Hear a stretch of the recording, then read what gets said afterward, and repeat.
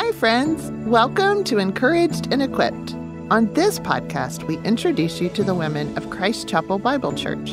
We love being encouraged to live out our faith in Jesus by hearing the stories of women in our church community. We are so glad that you're here. In this episode, Misty Denman describes Helen Grimes as a woman with gritty faith, a faith that endures. And I agree.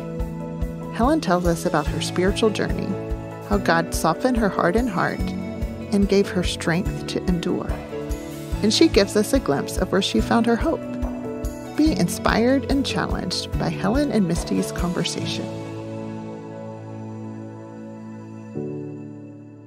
Hi, friends. My name is Misty Denman, and I'm here with my friend Helen Grimes this morning. And we are going to get to talk through her story, which I love so much. You're going to see and hear a story of um, God just um, reaching out and clinging to um, one of his people and um, her story of following him in different ways all through her life. Um, Helen, I wanted to tell you that when I left the West Campus of Christ Chapel and came to Fort Worth two years ago, um, I was grieving the loss of a lot of uh, great work and friendships um, at the West Campus. And I knew I'd make friends here, but I thought it might take a long time. And you were one of the first people who um, really sort of embraced me and became a quick um, friend and friendly face. And I hmm. just thought,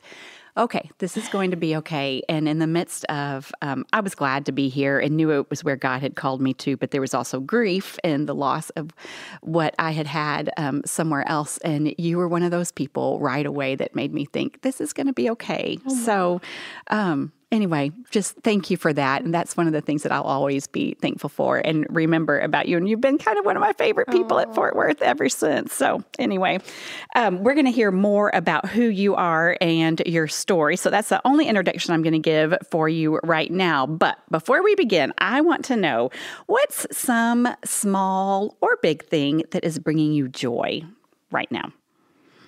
Thank you, Misty, for those sweet words, first of all. Um, well, of course, as a grandmother, mm-hmm. my grandchildren always bring me joy. The the ones in Dallas that I get to see in person, uh-huh. the ones in Colorado that I get to FaceTime with. But a joy that I have every single day in at, at home is in my routines. Ooh. I love my routines. Uh-huh. And one of my favorite routines is reading the daily newspaper every morning when I eat breakfast and I always read the sports section first. Do you read a, a paper, an actual paper, like yes, that gets thrown to your I get door the Fort still? Worth Star Telegram okay. every day. That's, um, I think maybe a lot of us old folks like to do I that. I love that. Okay, so which sport will you go to first, or just any of them? Well, yeah, whichever one is has the In biggest headline. At the time. Yeah, oh. I know all ah. about the draft of the NFL draft right now. I know that eight TCU players. Uh, uh-huh. got picked for NFL teams. Helen, I had I keep no up with idea. the stars. They're in the playoffs, and those things are great joys. I love that. Simple yeah, things in some, life. Yeah. We FaceTimed my son who's in college yesterday. Uh, it was his birthday. And that whole FaceTime thing, it has revolutionized mm. people living far apart from it, each other and just to get to see their yes, faces. And it's wonderful. Um, oh, okay. Well, I'm going to have to talk college football with you next fall. I had no idea. That's really neat. Uh, Those are great yeah. great joys. And even just that tactile feeling of getting a real newspaper mm-hmm. doesn't happen very much yeah. anymore. And since it. we were talking earlier about uh-huh. being a night person uh-huh. or morning person, and since my husband is a night uh-huh. person, uh-huh. that breakfast time I have, he is still asleep and in that bed. Is your yeah. time. Love it. Those are great joys and routines as well. Well, that's great. Well, um, I like I said before, I have really, uh, as I've gotten to know you and heard pieces of your story, one of the things that struck me is how God has really had his hand on your life from the very beginning, and I've seen evidence of that. Um, your heart for God, um, how you have reoriented yourself to Him over and over in your life. I, I just think it's a super life giving picture of God's grace mm. and how tenaciously I think you've clung to Him. I've learned a lot from you in that. Um, so, before we get deeper into your story, will you talk just a little bit about your childhood? Because I think your upbringing in the church and your understanding of God um, from when you were very young has probably changed very dramatically over the years. So tell us about Helen as a as a young girl. Oh, I had a wonderful childhood. Love that. I, I loved my childhood. I grew up in a blue collar family. Mm-hmm. As did I. Yeah, in mm-hmm. a small East Texas mm-hmm. town. There were oh five or six thousand mm-hmm. people way back in the fifties. Yes, it was a wonderful time to be a child. Um, I don't recall either of my parents ever saying that they loved me or my sister. Hmm. They showed their love, mm-hmm. but they didn't express it in mm-hmm. words. Mm-hmm. Um, we were a church going family. Mm-hmm. I'm so thankful for mm-hmm. that, the foundation that they gave me. Every time the doors opened, we were there. Sunday morning, Sunday night, Wednesday night, any special meetings, vacation Bible school. Wow. We never missed. Yeah. We never missed being in church we were in church a lot. Um, I heard the plan of salvation mm-hmm. as presented by my church mm-hmm. as five steps. Okay. Hear, believe, repent, confess, and be baptized. It must have been drilled into you because it was. I can hear yes. that in the, your memory. Right. It was. Not saved until you're baptized. Okay. That's a big thing. Okay. And even then, you couldn't be sure of your salvation. Hmm you might commit a sin, um, forget to confess it that night, uh, die that night, and go to hell. So I knew I didn't want to go to hell. Yeah. So at 12, yeah. I walked the aisle. Uh-huh. I confessed and acknowledged that I believed that Jesus was God's son, mm-hmm. and I was baptized for the remission of my sins. Was it scary to think if I don't confess something? I... You know, when I look back on it, I think so. Yeah. But as a child, that's all you knew, probably. I, I don't think it worried Got it. me. Got it. I just knew that it was time for me to do that. Got it. I, I had to confess. Yeah. Got it. That I believed God, or Jesus was mm-hmm. God's son. Mm-hmm. Mm-hmm. mm-hmm. So, Sunday school, we never missed. Yes. I loved my Sunday school. I loved love my that. teachers. I loved memorizing scriptures mm-hmm. and being challenged to read my Bible every day. This is so funny. I almost always read my Bible at night after I got in bed. Mm-hmm. And sometimes I would be so tired, mm-hmm. I would get out my Bible and I would literally look at John 11 35 which says Jesus wept. So you have read your scripture for the day. I would close my Bible and I would go to bed I can say I've read my Bible. As somebody who is kind of a rule follower myself yeah. and um, wants to check the boxes, oh yeah, I totally can oh, appreciate oh, yes. that so much. that just it's hilarious it to is, me now as I think about too. it.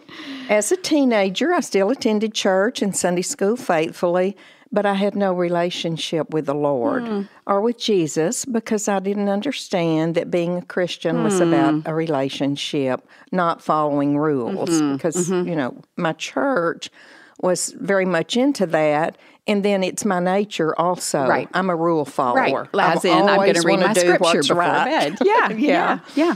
So I think I was in my middle teens when my Sunday school teacher encouraged the girls' class that I was in to be sure and marry a Christian. She hadn't done that, mm-hmm. so she was speaking from experience. Mm-hmm, mm-hmm. And um, you know, I know Second Corinthians six fourteen that mm-hmm. says, "Do not be unequally yoked with unbelievers." Mm-hmm. She really stressed that to us. So what did I do? What did you do, Helen? uh, at nineteen, I married an unbeliever. Yeah. And that was the beginning of me trying to live one foot in the world and one foot with the mm-hmm. Lord. Mm-hmm. I didn't go to church much after uh, I married until we had kids. Mm-hmm. And in my heart, I knew I needed to provide some kind of spiritual training for my two children because I knew their father wouldn't. Yeah. And it wasn't easy to get up on Sunday mornings, get them ready, get off to church, And we would go, leaving him at home, reading the paper or mm-hmm. watching TV. Mm-hmm. Now, when the kids got involved in sports that required games on Sunday morning, I let church attendance go so they wouldn't miss their soccer games. Sure. I regret that now because attending church is mandatory for is not mandatory for salvation. But bec- once we become a- believer, Yeah. Hebrews 10:25 says, you know, don't miss. Yeah. Yeah, but it's a easy. I, I think that's a, it's an easy thing to do, particularly when you're doing it on your own hmm. and when you've got um, other things pulling at you that are important as mm-hmm. as well. But I love how you can look back now with wisdom and hmm. think, hey, if I had it to do again, I would have done Oh, it differently. Very differently. Yeah. And, and I guess we all can look back on oh gosh, too. absolutely, Yeah, for sure. Yeah. yeah. So here I am with with teenagers. A husband isn't a Christian, and I felt like I was pretending to be a Christian. Okay, what do you mean by that? I was pretending to be a Christian. Well, I don't know if that's really the right word or not. It's okay. But um, God and Jesus were definitely not my priority. Got it. My claim to be a Christian wasn't reflected in my daily life. Yes. Is- yes. is- and I think that's a great way to look back at that and think, okay, I had checked the boxes, mm-hmm. you had followed the rules, Right. you had done all of those things, but you somehow I think must have known that there was that lack of the relationship piece, the personal There was definitely something missing. piece to Yeah, it. definitely something hmm. missing. Hmm. Yeah. Um, what happened next? Okay.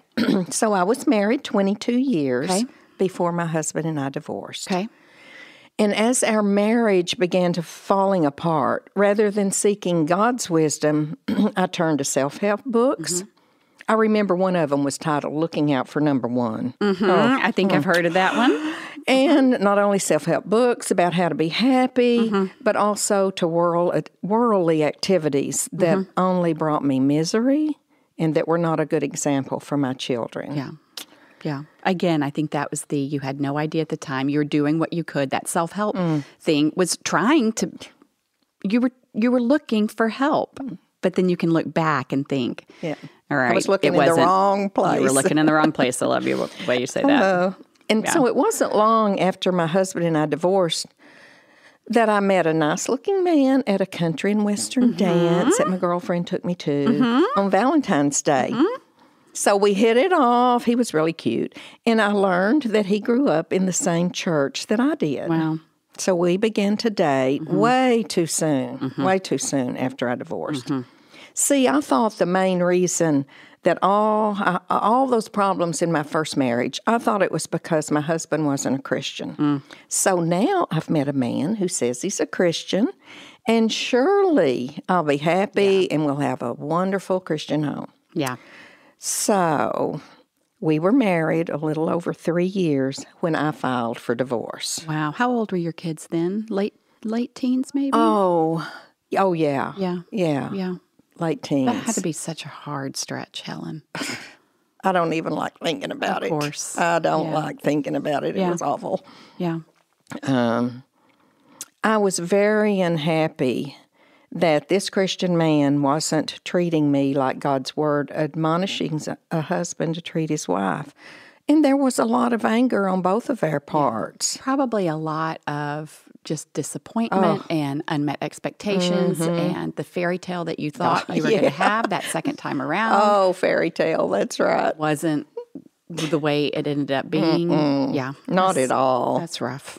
So after we divorced, Okay, so this you three, you're about three years in. three years in, Okay, you th- then uh, you divorced him. I divorced divorced. him. hmm Okay, he he did not want the divorce. okay, So he went to counseling. Mm-hmm. He he said there's things wrong. I need to figure Mm-hmm. out what's wrong with me. That my first wife couldn't live with me. Now my second wife can't live with me. So something must be wrong Yeah. with me. yeah. So he went to counseling. I see a lot of humility in that. I know there must have been really hard things there, but I'm kind of struck by the humility of um, recognizing Mm-hmm. Right. that in a hard Really, place. truly. Yeah. Mm-hmm. And so he went to counseling, and I was just trying to figure out um, why I had jumped into another marriage Sure. so soon. Yeah. Um, he also joined a marriage reconciliation support group at the church that we had been attending. And that support group was for the spouse who did not want their marriage to end. And they were trusting God to put it back together. And they called it they're standing for their marriage. That uh-huh. was the big catchphrase uh-huh. for that uh-huh. support group. And it's a long story. Maybe I could tell it another time. But anyway, Royce and I did happen to accidentally run into each other. And he told me he was in this support group and trusting God to stand, trusting God to put our marriage back together. About how long was it at, between when you divorced and Oh, you accidentally ran into him? Um, it wasn't quite a year. Okay, it okay, wasn't got quite it. a year. Got it. Uh-uh. So I told him when he told me he was standing um, for his marriage Mm-hmm. and trusting God to put it back together. I said, "Well, I mean, I, I just cracked up. Mm-hmm. I, I thought that was the craziest thing I'd ever heard."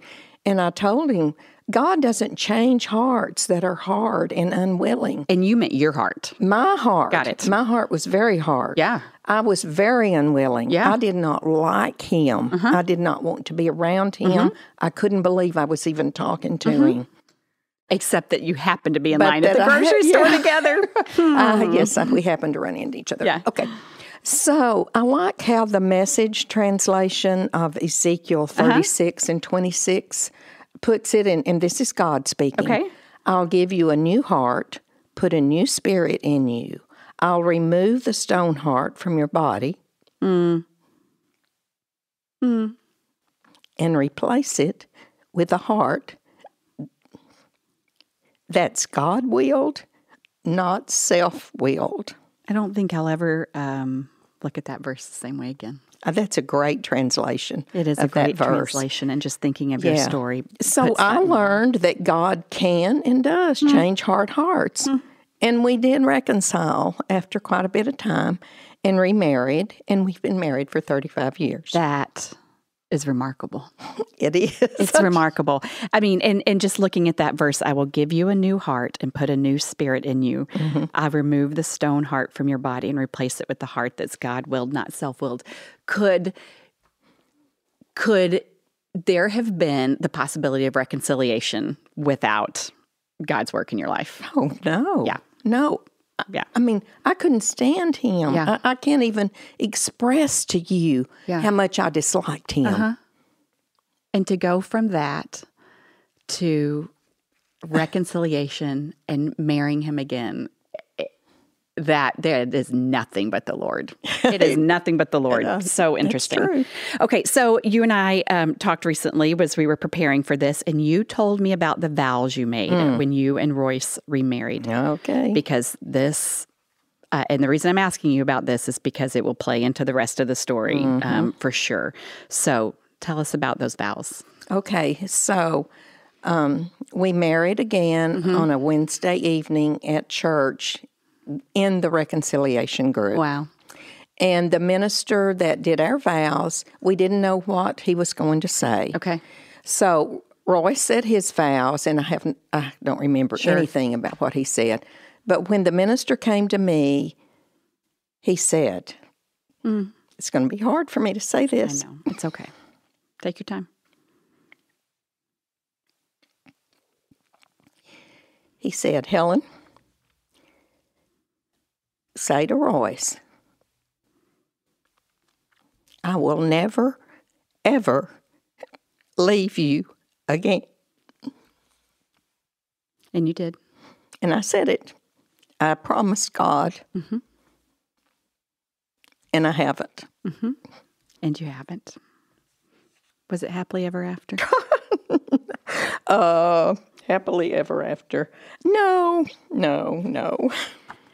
This is what I, I think this is the heart of your story here is um, is God turning that hard heart um, into a soft heart, drawing you back together, even though He knew it wasn't going to be happily ever after.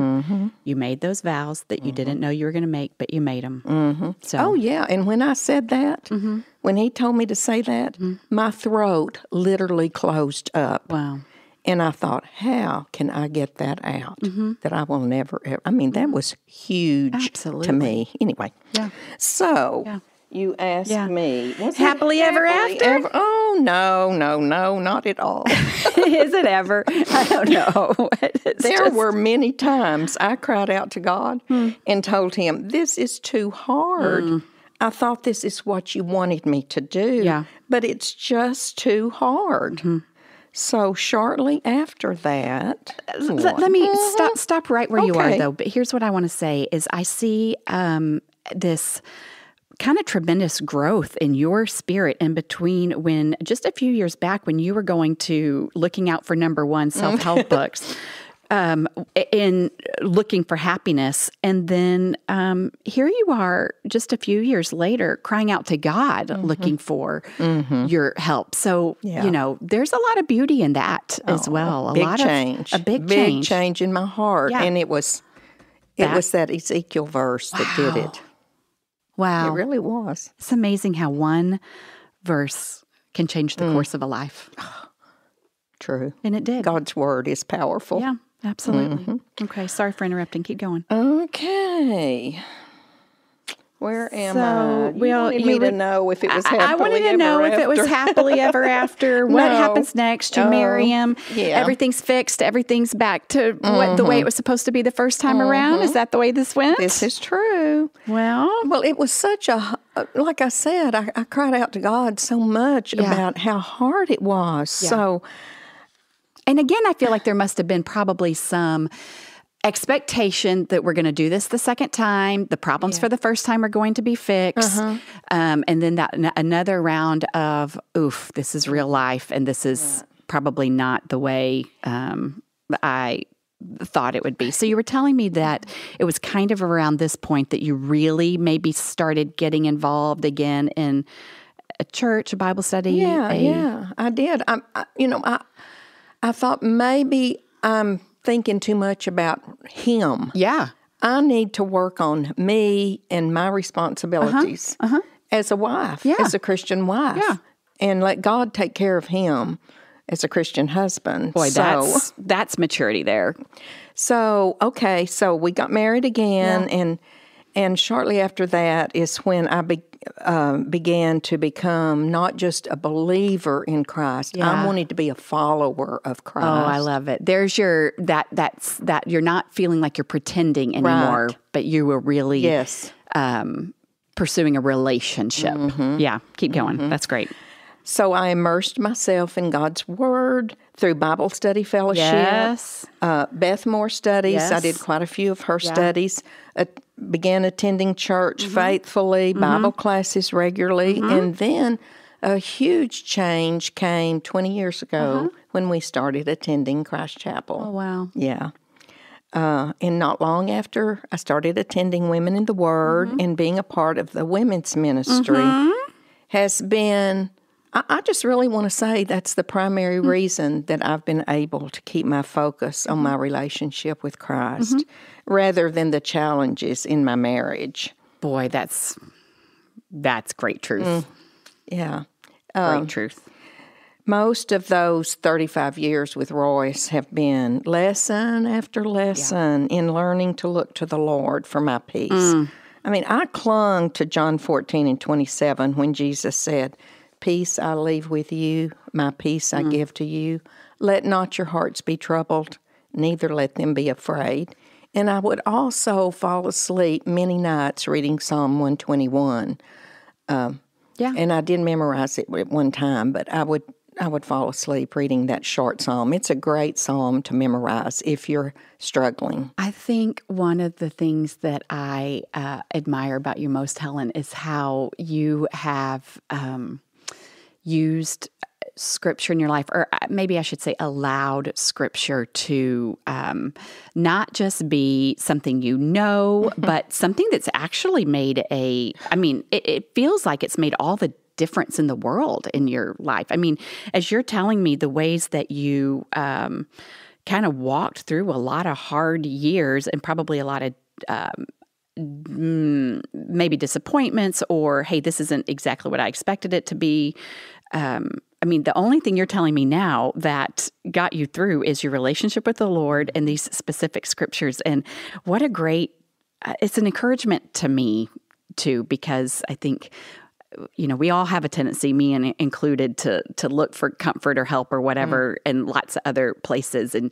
and your real help came from the lord specifically through his word and that's pretty remarkable the other thing i want to just notice is um, and it's been the same for me that you said your connection to other women in the mm-hmm. church who um, also loved God's mm-hmm. word, growing in their faith, mm-hmm. made a real difference when life at home was challenging. Um, I, I, think you've kind of said it mm-hmm. already, but what is it about being a part of that this community that's helped? Can you put that into words?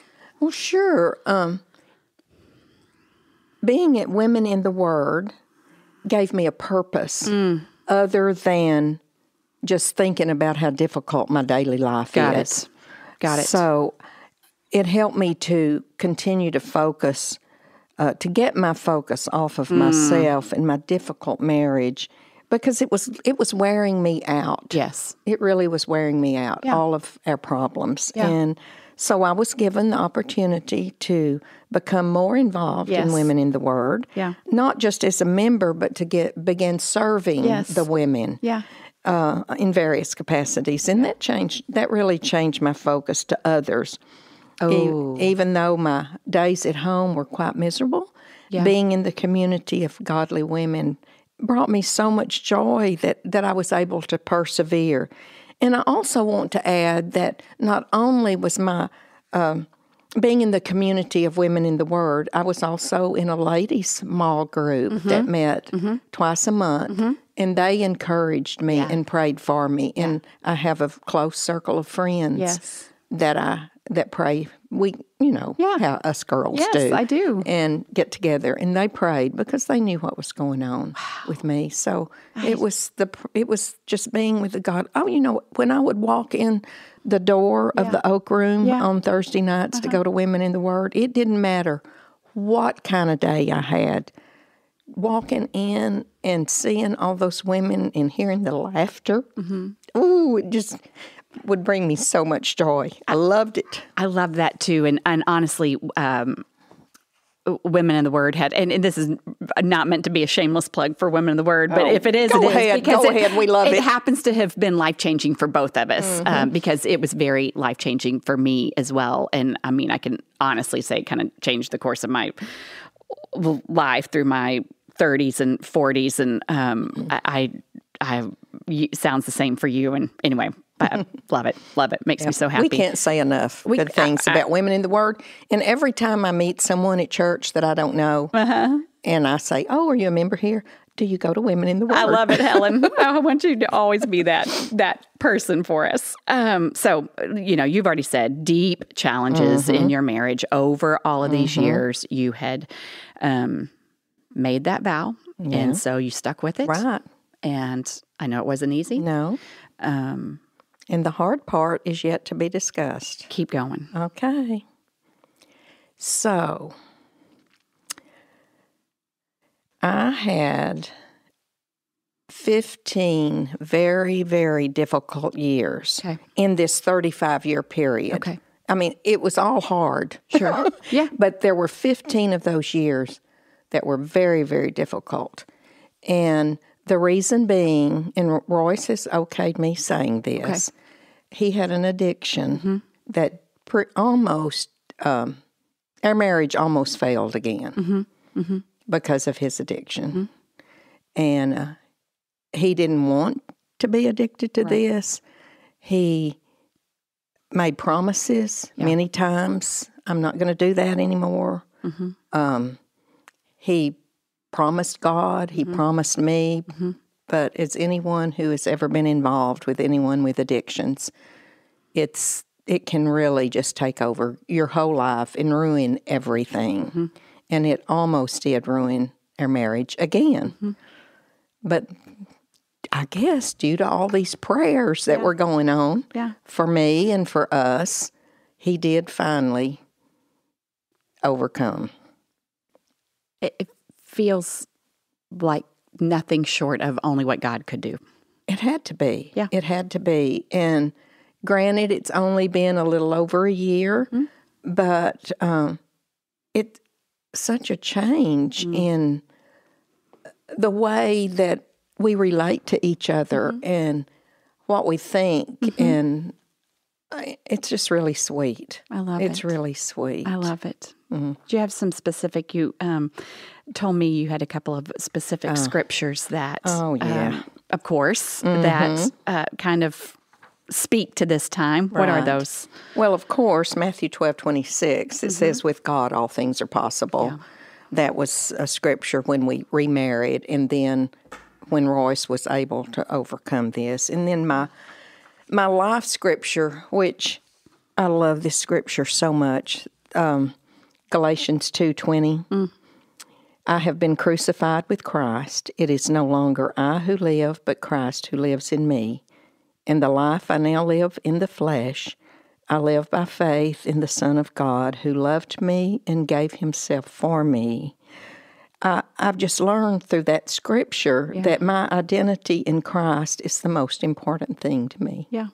And I think your story from um, who you understood God to be in your childhood through now is that uh, development of living life in the flesh, um, trying to uh, earn your favor with God by following rules, by reading scripture every night, by showing up every time the doors were opened, um, you know, just kind of gutting it out uh, to uh, living kind of by God's word alone and by the prayers of the the saints around you and, and yours. And so, to me, that's such a um, I, I, a beautiful life verse because it really does describe your relationship with the Lord and your kind of transformation over the years from because I, see that you always had a heart for God. You clearly always had a heart for God and God clearly always had his hand on you and your life. There's never been a time, at least, you know, as you're telling your story, that that hasn't been true. But the transformation from it being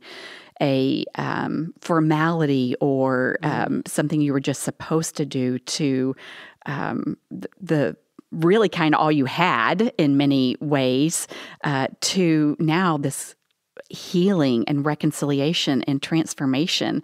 Uh, it it is a picture of the power of Scripture and um, the power of um, not ever giving up on the Lord in our lives. It, it just blows me away so much. I mean, just it makes me think of how you know God's word is living and active. Well, if it were not living and active, your life would not be where it is and what it is. That is so true. And the other thing I just love so much is um, you and and I was I've been thinking about this since we talked last week. Is you 35 years ago probably had no idea. Well, what I was going to say is you had no idea probably of the cost of that vow you made before the Lord. I think you did have some inkling of it when you say that it was kind of hard to get it out. Um, but the um, the the your willingness to um, have a, a gritty faith that really keeps your promises and and does what you felt like God asked you to do um, through the power of the Holy Spirit in the Scripture. It just it, it makes me want to go out there and just do the same and think, Oh. um, I, yeah, I want to live by faith alone too. Um, I think it's such a gift. One of the things I love about this podcast and hearing people's stories, and your story in particular, is it's a gift when people share their hardest struggles because it helps all of us know we're not alone in our suffering. And um, you've had a lot of years. It's not you didn't have short term hardship in your marriage. You had decades of of hard things in your marriage. Um, this is and- true. yeah, and and I say that not to. I mean, I say that because It's true. um, because it's true, and because you know you go back to that with God, all things are possible. Um, through a community of believers, through uh, having, um, you know, being faithful to a body and to the church and to the scriptures. It's how you, if you'd given up before, you wouldn't have gotten to where you are now. And I don't think Royce would have gotten to where he is now.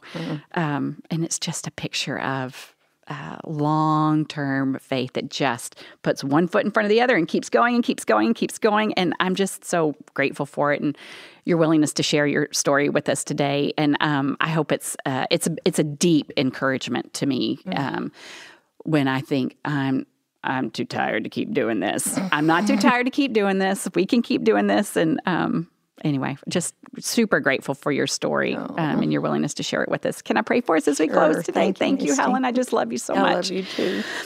Lord, you are so good. You are clearly powerful. Um, you never leave us or forsake us. Um, you never said life would be easy, but you do mm. say that you're with us. Um, and I see your mighty and powerful hand in Helen's story. Um, and I know that your hand is just that powerful in um, the lives of each of um, each of the people that you call your own. Lord, would you help us to cling to you? Would you help us to um, allow you to soften our hearts um, and turn them toward one another and toward you? And uh, I just pray, Lord, that uh, we would walk with you faithfully um, through thick and thin. And it's in your holy name we pray. Amen. Thanks, Helen. Thanks for listening. For more episodes, be sure to follow Encouraged and Equipped